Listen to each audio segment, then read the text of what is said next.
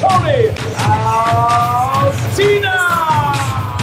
Go behind the game and then win the last three legs. Three dozen dots. Jesus, tight. Well, Ron Elkin up.